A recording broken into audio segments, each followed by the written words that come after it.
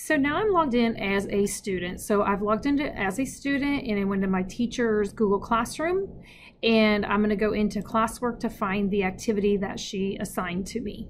And so it's right here.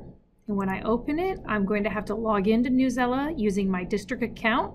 So I'm going to click on Google, connect that student account to my to my Newsela select student, make sure they select student so it works properly. And I'm being asked for a code from my teacher. So you can give them the code that you saw earlier in the previous video.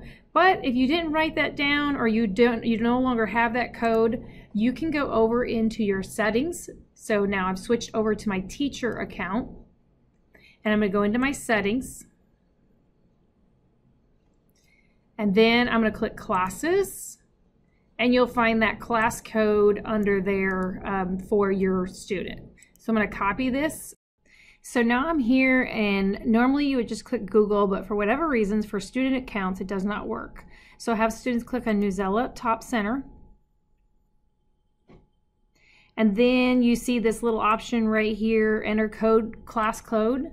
This is where the student is going to enter their code for your class. Click go. And then it's going to ask, do they have an account already or is it their first time? That will depend on the student. And so let them uh, make that choice. I'm going to choose, um, I have a Newsela account because I have logged in before with this particular account. I'm going to choose Google, select the account I'm logging in with, and uh, answer the question for the country. And now I'm logged in.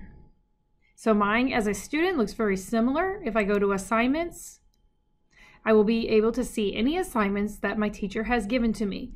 It will also identify if it's a new assignment or if it's assignment I've worked with in the past. I can go to view past assignments and see what's in there. So that's how a student will access the assignment they are working on through Newsela if you give it to them in Google Classroom.